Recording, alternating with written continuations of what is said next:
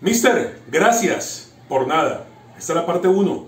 Absolutamente nada. América quedó eliminado hoy en Bogotá en tierra de quinta categoría, perdió en techo dos goles por uno, ratificando el América de hoy, que es el peor América de los últimos 24 años. Y se lo digo yo, que he visto este equipo desde 1997 en el cubrimiento periodístico en la parte deportiva, qué pobre equipo.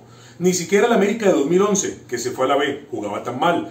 Ni tan siquiera el equipo del ascenso, que estuvo cinco años en el infierno de la primera B. Ni siquiera el América del 2018 con Pedrito de Portugal era tan desacertado y desaguisado en la América de hoy. Responsable, el Mister, el sepulturero, que ya se va y que no le deja absolutamente nada a este América, que del bicampeón solamente queda el recuerdo. Y sí, es un sepulturero, porque enterró el equipo en la Suramericana, en la Copa, en la Superliga y hoy en la Liga. ¡Qué pobreza absoluta! Y lo de hoy es más triste. El equipo en 10 minutos, América, ya estaba perdiendo dos goles por cero con el pequeño Seguro de Equidad que hace rato estaba eliminado. Y se demoró 25 minutos Osorio y Pompilio para ver que América era un desastre, sacar a Ortiz, meter el Bimosquera y armar una defensa con cuatro y tratar de hacer algo decente en la ciudad de Bogotá.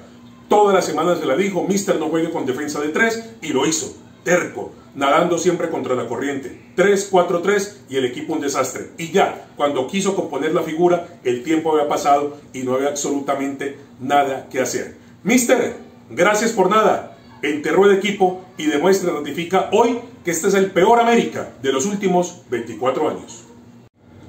Mister, gracias por nada. Parte 2.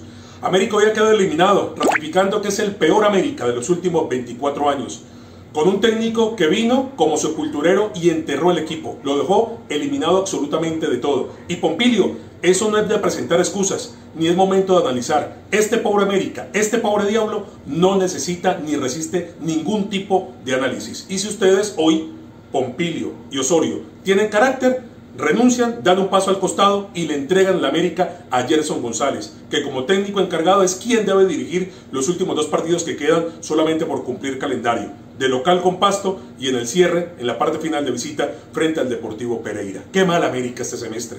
Un proyecto deportivo a dos años que abortó en tan solo cuatro meses malos refuerzos, donde solamente por ahí, de manera pequeña, se destacaron Deiner y Larrengulo.